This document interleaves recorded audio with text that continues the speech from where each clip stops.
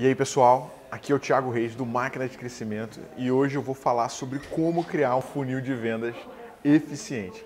Depois de um tempo em vendas, você começa a perceber que se você não organizar muito bem os passos do seu funil, existe uma chance grande de você perder boas vendas.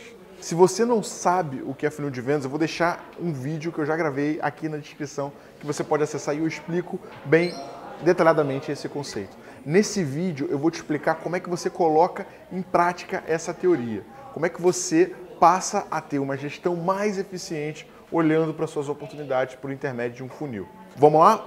Para você estruturar o teu funil, primeiro passo, pesquise a jornada de compra do seu cliente.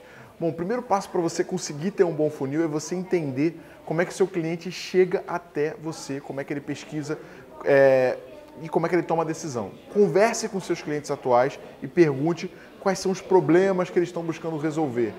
Por que, que ele comprou o seu produto e o que, que como ele fez esse processo e como é que ele organizou essa compra dentro da empresa dele.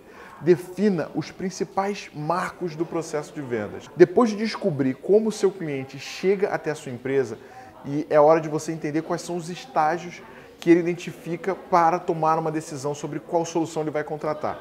Por exemplo, uh, pode ser baixando um e-book no seu blog, pode ser pesquisando na internet, pode ser falando com um amigo. O mais importante é você entender como é que ele chega à etapa final, ou como que ele toma essa decisão.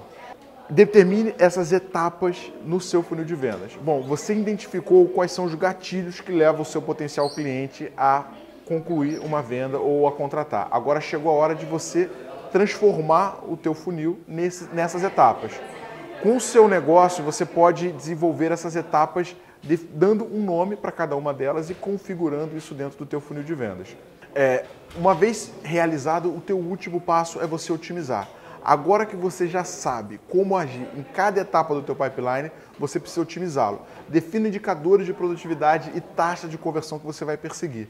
Assim você consegue determinar quais são as atividades necessárias para atingir a sua meta seguindo esse passo a passo, a sua empresa já tem um pipeline de vendas. É muito trabalho você conseguir seguir cada um desses passos, mas faz total diferença na tua performance de venda.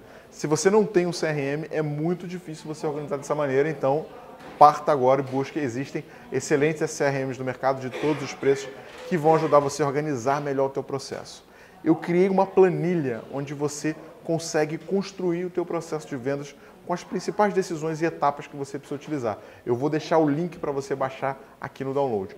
Ficou com alguma dúvida?